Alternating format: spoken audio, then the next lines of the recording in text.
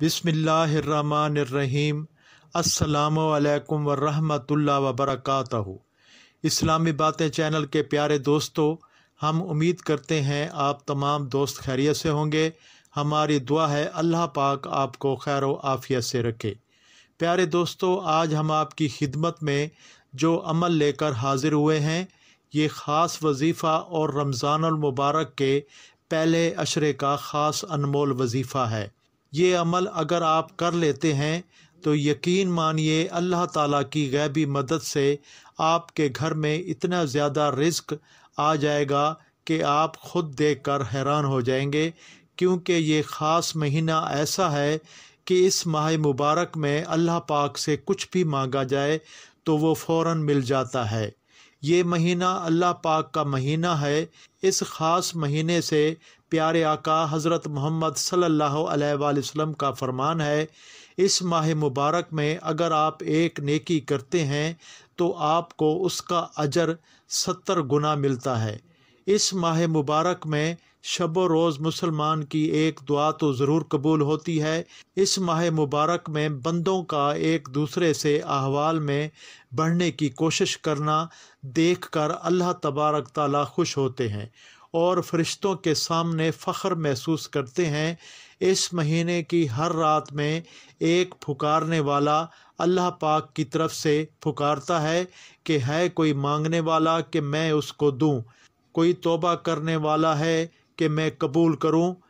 कोई मफ़रत चाहने वाला है कि मैं उसको बख्श दूँ? अल्लाह पाक की किताब कुरान मजीद इसी माह मुबारक में नाजिल हुई।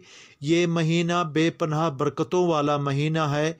इस माह मुबारक में जितना ज़्यादा हो सके अल्लाह ताला से अपने दुआओं के ज़रिए मांगिए। जितना ज़्यादा हो सके अल्लाह की इबादत कीजिए, अल्लाह पाक से रो रो कर अपने गुनाहों की माफ़ी मांगिए।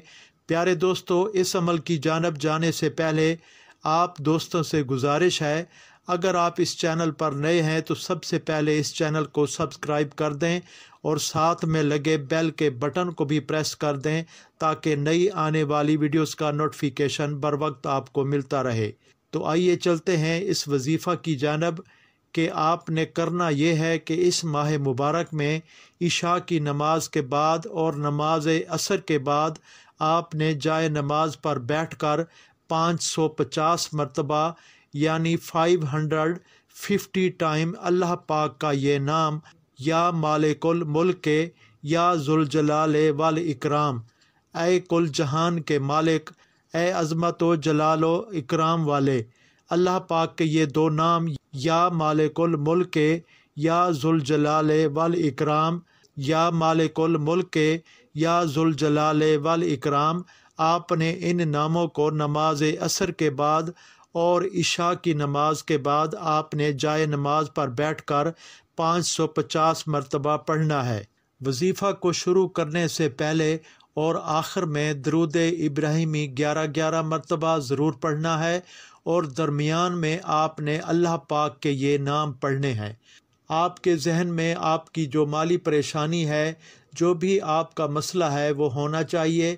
इन इस अमल को करने से आपके घर से रिस्क की तंगी दूर हो जाएगी और जो भी माली मसला दरपेश है, जो भी माली परेशानी का सामना आपको करना पड़ रहा है, इस ख़ास महीना के सदक़े से वो परेशानी हल हो जाएगी।